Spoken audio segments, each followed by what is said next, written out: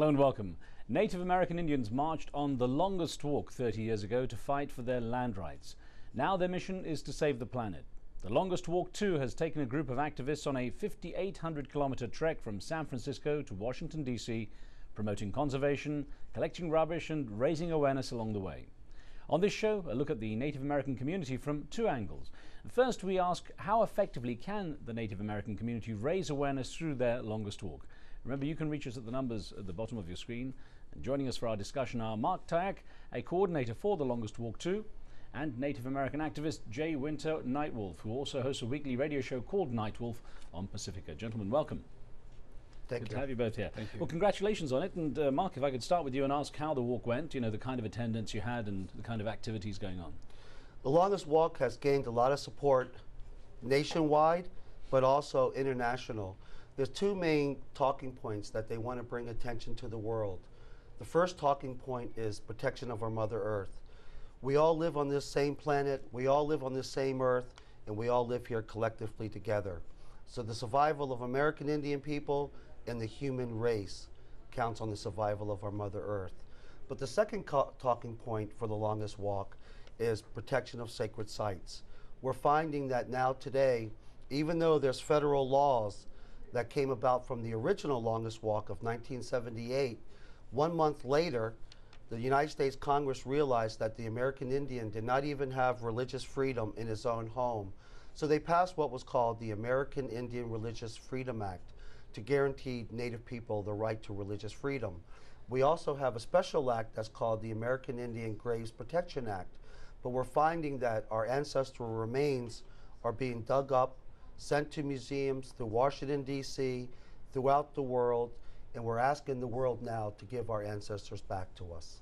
Jay, I know you're, you're something of a media personality, you have a radio show as well, but how hard is it to get some of these uh, issues that affect the Native American Indian community out there to the general public who who perhaps know very little about it? The hardest issue that we have had is to be able to communicate on a national and international level.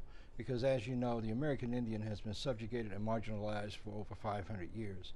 Our plight is to get the answers, to get not the answers, but get get the story out there, the many stories that we have. Uh, this one story of survival of the planet is ultimately important not just to American Indians, but is more important to the entire human family. And Mark just mentioned the uh, our, our sacred sites. If you had, let's let's take for example, you have a church, a mosque, or a synagogue that you attend. If someone was to come to your place of worship and tell you, we're going to take that from you and we're going to build a mall or we're going to build a housing complex, how would that make you feel? It would make you feel like you have no place to talk to your God and worship your God. This is what's happening to us, and this is why we're fighting so hard. And the Graves Protection Act, you know, they dig out people's bones up, they put them in museums. There are over 225,000 throughout the United States of ancestral remains and funerary that's sitting in lockers in universities and basements in universities. But the fight goes on just to get our ancestors back to where they came from. Mark, tell me about the, the Clean Up America campaign because you guys on this walk and it's a long trek. You're actually out there literally doing some good, just cleaning up the, the, the, the path as well. Well, what the longest walk wanted to see uh, as they walked across what we call Indian country, or what people refer to as United States, they wanted to clean up our Mother Earth and leave a clean trail behind them so that they can send a message to people throughout the world. It's time to protect our Mother Earth. I'm a member of the Piscataway Indian Nation, and our tribe is the local tribe right to the state of Maryland.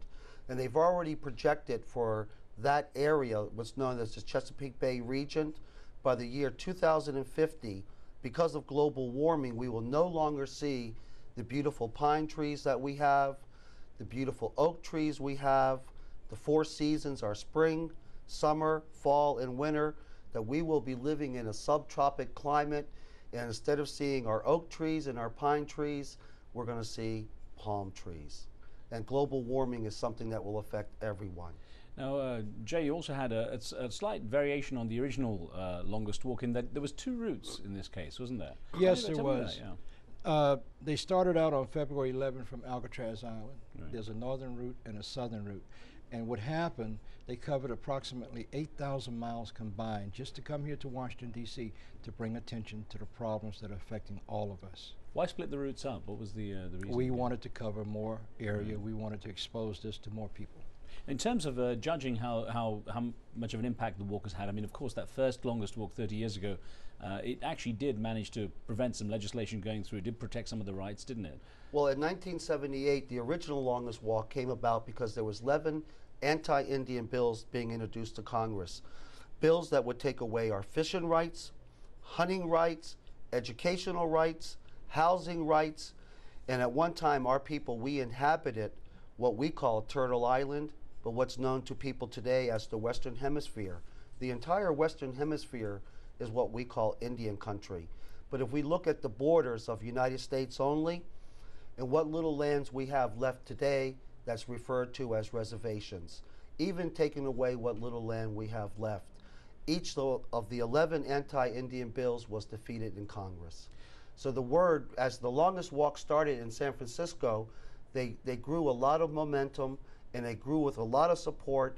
So the time it actually hit here in Washington, D.C., there was over 100,000 American Indians, our friends, our allies, and our supporters. So that message was heard. Jay, we had an email that came in from Sydney in Australia. And uh, S. Anoma in Sydney said, Similar to Australia's Indigenous people, Aboriginals, Native Americans have had a close relationship with the land.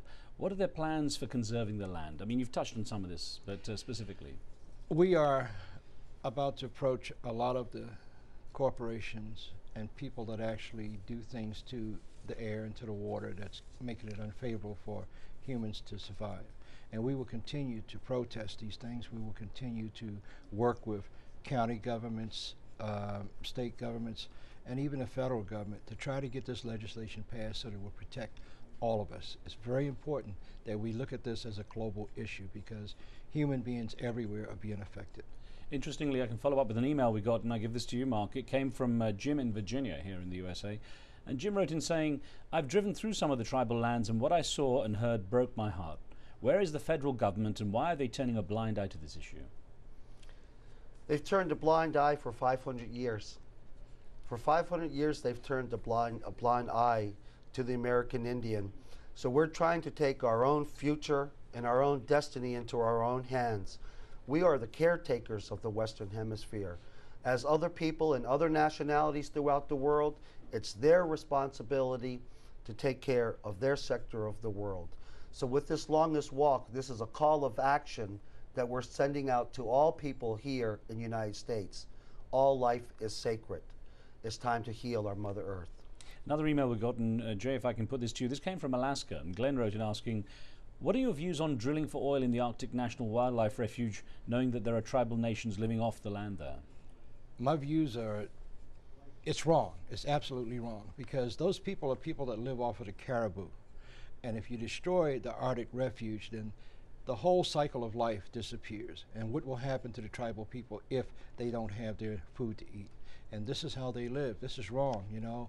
Uh, there are other places you can drill, or you really don't have to drill. What about alternative energy? What about the wind? What about the sun? The sun never stops shining. Is, is the movement fairly uniform across all the, the Indian tribes? Is it everyone involved? I mean, is there a fairly good common you know, feeling across everyone on, on the mission?